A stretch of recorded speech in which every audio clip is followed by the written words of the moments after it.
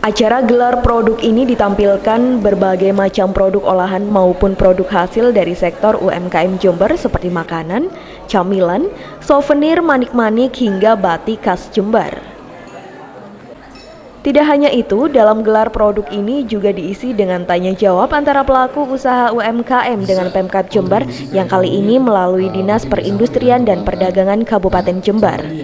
Acara ini dibuka langsung oleh Wakil Bupati Jember, Mukit Arif.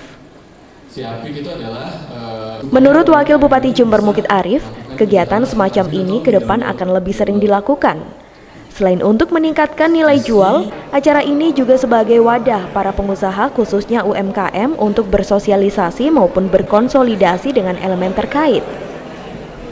Dengan semakin kompaknya pelaku usaha mikro di Kabupaten Jember, diharapkan mampu mengangkat produk Jember di tingkat nasional maupun internasional dan tentunya akan mendorong kesejahteraan yang lebih baik untuk masyarakat Jember. Bertekad ya untuk bagaimana produk-produk dari IKN dan UMKM yang ada di Jember bisa kita promosikan tidak hanya di Jember tetapi di luar Jember. E, tentunya berbagai pihak yang terutama yang hadir pada kesempatan ini, ini dari travel agent, kemudian dari perhotelan, itu dari pihak pers, itu akan sangat banyak membantu upaya untuk bagaimana mengenalkan produk Jember ini.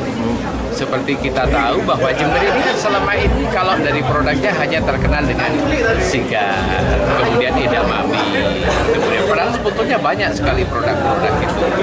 Sehingga tidak apalah kalau misalnya seperti kita manfaatkan event-event seperti JFC, dan event-event yang sudah kelas dunia itu kita jadikan sebagai media juga untuk mengendalikan produk-produk Jember itu dan tidak ter, tidak kalah pentingnya juga ketika ada tamu-tamu dari luar seperti kemarin kita ada tamu delegasi perdagangan dari Pakistan itu kita kenalkan dengan produk-produk ya saya kira itu. dari Jember Yudis Adi Jember 1 TV melaporkan